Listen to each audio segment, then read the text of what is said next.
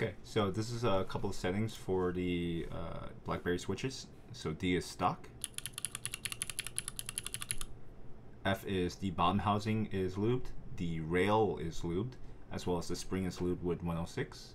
And between the two sections of the switch uh, stem itself is lubed.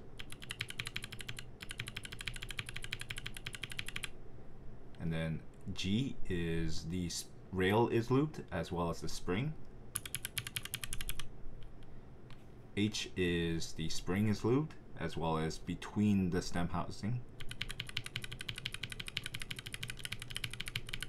J is spring lubed as well as the filming between the housing. K is just the spring. L is the rail is lubed as well as the spring. So once again,